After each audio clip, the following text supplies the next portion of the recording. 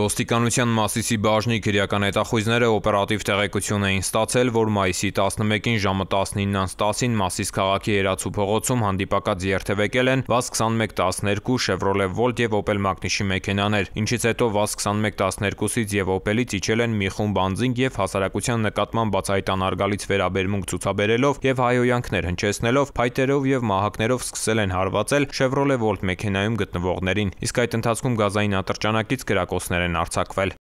Մասիսի քնչական բաժնում քրեական վարույթ է նախաձեռնվել։ Ոստիկանության Մասիսի բաժնի ծառայողները ձեռնարկած օպերատիվ հետախուզական միջոցառումների արդյունքում ողրզել են խուլիգանության մասնակիցների ինքնությունը։ 8 երիտասարդն էլ Կաթնախբյուր գյուղի բնակիչ են։ Պարզվել է, որ նրանք անձնական հարցի շուրջ ցակած վիճաբանության ժամանակ փայտերով եւ մահակներով հարվածներ են հասցրել Chevrolet Volt-ի վարորդին։ Նա էլ գազային ատրճանակից կրակոցներ է արձակել։ Դեպքի վայրի զննությամբ հայտնաբերվել է 3 պարկուճ։ Մայիսի 12-ին ՎԱԶ 2112-ի վարորդը Կաթնախբյուր գյուղի բնակիչ 22-ամյա երիտասարդը հայտնաբերվել, ձերբակալվել եւ տեղափոխվել է ոստիկանության Մասիսի բաժնի ձերբակալվածների պահման վայր։ Մայիսի 13-ին հայտնաբերվել են նաեւ միջադեպի երկու մասնակից։ Նրանք ձերբակալվել եւ ներկայացվել են Մասիսի քնչական բաժին։ Երեք երիտասարդին էլ մեղադրանք է առաջադրվել։ Նրանց նկատմամբ դատարանի որոշմամբ կիրառվել է տնային կալանք խափանման միջոցը։ Նախաքննությունը շարունակվում է։ Chevrolet-ի վարորդը ներկայացրել է գազային ատրճանակը։ Ձեռնարկվում են միջոցառումներ հանցագործության մյուս մասնակիցներին հայտնաբերելու ուղղությամբ։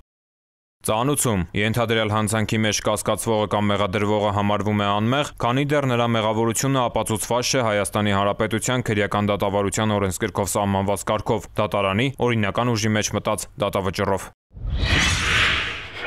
Լոռու մարզի պարեկները մայիսի 11-ին ժամը 21-ի սահմաններում Վանաձոր քաղաքի Երևանյան խճողում ծառայություն կատարելիս նկատել են կասկածելի վարքագիծ դրսևորող մի քաղաքացու, որը պարեկներին տեսնելով փորձել է փախուստի դիմել։ Պարեկները մոտենալով նրա գոտկատեղին զենքի նմանվող առարկա են նկատել։ Քաղաքացին ապօրինի կերպով հրազեն կրելու կասկածանքով ձերբակալվել եւ տեղափոխվել է ոստիկանության բազումի բաժին, որտեղ պարզվել է նրա ինքնությունը։ Անձնական խուզարկությամբ Վանաձորցի 56-ամյա տղամարդու մոտ հայտնաբերվել է մակար տարով տեսակի ատրճանակ լիցքավորված 9 մմ տրամաչափի փամփուշտով, իսկ պայստատուփում եղել է նույն տրամաչափի 6 փամփուշտ։ Նրա պայուսակում հայտնաբերվել են գաղտնի փականով 2 դանակ, պարսատիկ կաթուցիչ պոլիէթիլենային տոպրակում տարբեր չափերի մետաղական գնդակներ եւ հեղիուսներ, էլեկտրապատիչ սարք։ Բացի այդ տղամարդու գուլպայի միջից հայտնաբերվել է 0.95 գրամ դեղնականաչավուն զանգված, ինչի վերաբերյալ նա հայտնել է, որ այն թմրամիջոց է անձնական օգտագործման համար պատրաստել է վայրաճ կանեփի թփերից։ Վանաձորցի տղամարդը Մարտը եւ կազմված փաստաթղթերը ներկայացվել են Լոռու մարզային քնչական վարչություն։ Նա ձերբակալվել է, նախաձեռնվել է քրեական վարույթ, հանգամանքները պարզվում են։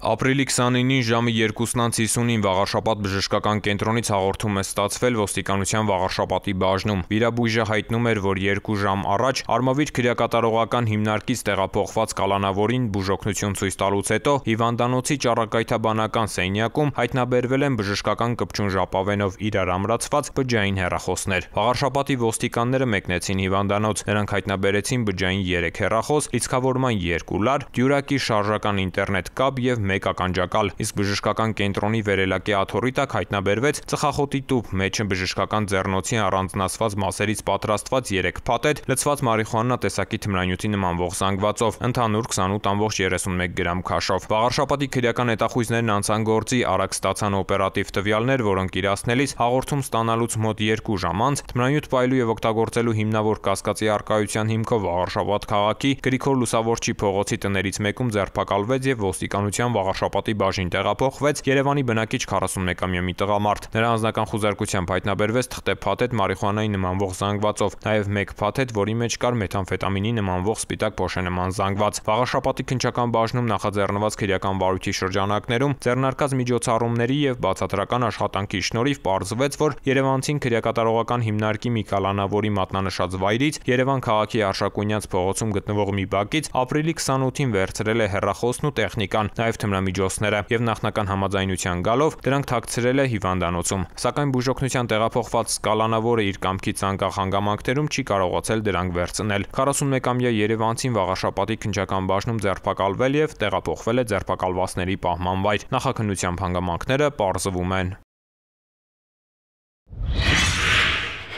Լուսանկարում պատկերված անձը որոնվում է նախաձեռնված քրեական վարույթի շրջանակում նրա ինքնության կամ գտնվելու վայրի վերաբերյալ տեղեկություններ ունեցողներին խնդրում ենք դիմել ոստիկանության Էրեբունու կամ մոտակա բաժին կամ զանգահարել 102 հեռախոսահամարով։ Տեղեկություն տրամադրող անձի գաղտնիությունը երաշխավորվում է։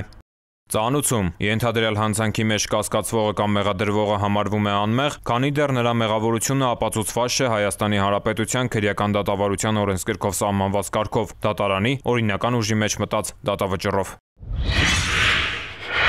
Ներքին գործերի նախարարության կողմից իրականացված օրենսդրական բարեփոխումների արդյունքում ապրիլի 5-ից, եթե բարեկային ծառայողի կողմից կամ տեսալուսանկարահանող սարքերով արձանագրված իրավախախտման գործով կայացվել է տուգանքի որոշում, ապա ցանուցմանը հաջորդող օրվանից 15 օրվա ընթացքում վճարելու դեպքում ի սկզբանե նշանակված տուգանքը կնվազի 30%-ով։ Վճարման պարտականությունը կհամարվի ամբողջությամբ կատարված բացառությամբ վարչական տույժ նշանակելու որոշումը բողոքարկելու դեպքի։ Օրինակ, եթե կայացվել է 5000 դրամ տուգանքի նշանակման մասին որոշում, կկիրառվի բոնուսային նվազեցում 30%-ի չափով, եթե 15-օրյա ժամկետում վճարվի 3500 դրամ, կամ արձանագրված խախտման համար եթե կայացվել է 20000 դրամ տուգանքի նշանակման մասին որոշում, ապա կկիրառվի բոնուսային նվազեցում 30%-ի չափով, եթե 15-օրյա ժամկետում վճարվի 14000 դրամ։ Այսպիսով 15-օրյա ժամկետում տուգանքը վճարելու դեպքում կկիրառվի 30%-ի նվազեցում եւ պարտավորությունը կհամարվի ամբողջությամբ կատարված։ Վարչական տույժ նշանակելու մասին որոշման մեջ, որն ուղարկվելու է վարորդին, ներկայացված կլինի տուգանքի նվազեցում ստեղծման տոկոսայնությունը։ Համակարգը գործելու է ապրիլի 5-ին եւ դրանից հետո կատարված իրավախախտումների դեպքում։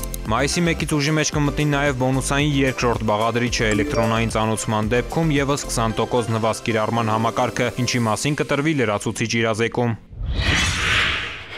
Ներքին գործերի նախարարության կողմից իրականացված օրենսդրական բարեփոխումների արդյունքում մեղմացվել է վարորդների կողմից կանգառի կամ կայանման կանոնները խախտելու համար սահմանված տուգանային միավորի կիրառումը, կես միավորի փոխարեն 0.25 տուգանային միավոր։ Միաժամանակ խստացվել է ապակիների լուսաթափանցելիության չափի խախտման համար սահմանված վարչական պատասխանատվությունը։ 1 տարվա ընթացքում կրկնելու կամ ամեն հաջորդ անգամ կատարելու դեպքում կառաջանա 29000 դրամ տուգանք եւ կկիրառվի 2 տուգանային միավոր։ Փոփոխությունները կգործեն ապրիլի 5-ին եւ դրանից հետո կատարված իրավախախտում պայմանների նկատմամբ երթևեկության բոլոր մասնակիցների անվտանգության ապահովումը ներքին գործերի նախարարության ոստիկանության առաջնահերթություններից է։ 2024 թվականի մայիսի 1-ից ուժի մեջ է մտնում ներքին գործերի նախարարության բարեփոխումների արդյունքում կիրառվող բոնուսային համակարգի հաջորդ բաղադրիչը։ Մայիսի 1-ից հետո տեսանկարահանող կամ լուսանկարահանող սարքերով արձանագրված խախտումներով կայացված որոշումներն էլեկտրոնային ծանուցման եղանակով ստանալու դեպքում վճարման ենթակա դուգանքի գումարը կնվազի 20%-ով։ Էլեկտրոնային ծանուցումն ակտիվացնելու համար պետք է կատարել հետևյալ հաջորդական քայլերը։ Անհրաժեշտ է մուտք գործել Հայաստանի Հանրապետության ոստիկանության ճանապարհային ոստիկանության ծառայության առցանց հարթակ Road police.am համակարգ։ Օրինակ այսպես.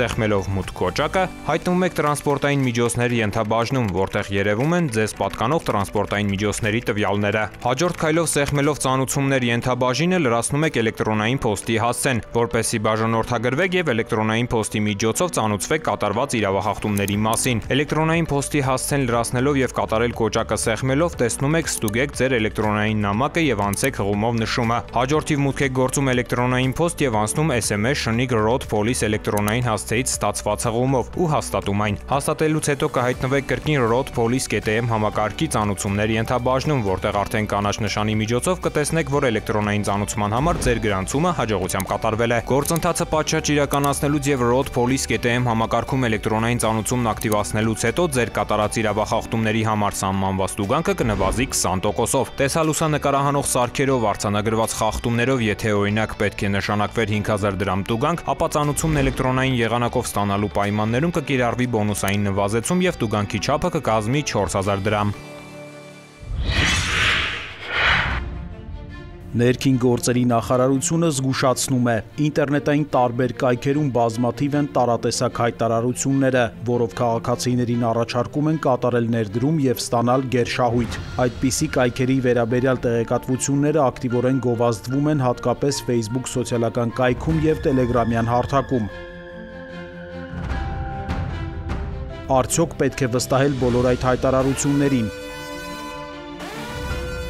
Իհարկե ոչ։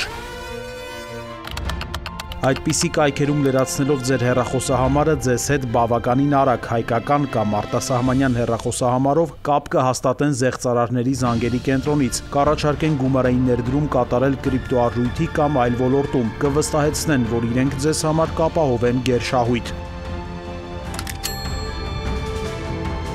Միշտ ապեք կատարել ներդրումներ, ստացեք խորհրդատվություն, զանգահարելով 011 52 52 52 ներքին գործերի նախարարության ինտերնետային խարդախություններով թեժ գծի հեռախոսահամարին։ Պարզապես հիշեք, տրվելով այդպիսի կայքերի գրավիչ առաջարկություններին, մեծ է հավանականությունը, որ կկրեք գումարային մեծ կորուստներ։